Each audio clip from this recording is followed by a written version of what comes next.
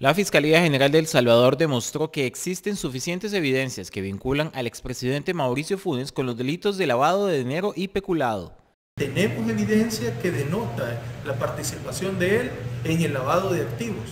evidencia que lo acredita él y lo, lo vincula al delito de peculado, así como de las otras personas. El titular del Juzgado Quinto de Paz de San Salvador envió a la etapa de instrucción el proceso penal contra Funes y ordenó su detención preventiva, una decisión que también tomó contra otras 14 personas, incluidos dos de sus hijos y la cónyuge del expresidente. Además, se ordenó que se congelaran los inmuebles, vehículos y cuentas bancarias de los implicados. Él favoreció a todo su grupo familiar, a todas las personas que estaban alrededor de él y que ahora han sido procesadas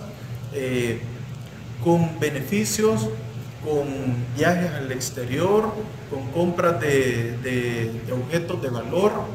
eh, compras de vehículos, de propiedades, etcétera, etcétera. El fiscal general Douglas Meléndez informó el pasado 8 de junio, tras varios días de especulaciones en la prensa local, sobre la petición de orden de captura contra Funes y más de una treintena de familiares, amigos y exfuncionarios por la millonaria malversación. De acuerdo con el fiscal Funes y el empresario Miguel Menéndez, encabezaron una estructura en la Casa Presidencial de El Salvador con la que sustrajeron más de 351 millones de dólares a ocho cuentas particulares y de las que sacaron más de 292 millones de dólares en efectivo. Porque todas las evidencias que nosotros presentamos señalan que él, dentro del esquema criminal que se organizó para poder lavar, para poder extraer fondos públicos por, más de 351 millones de dólares, él fue una pieza indispensable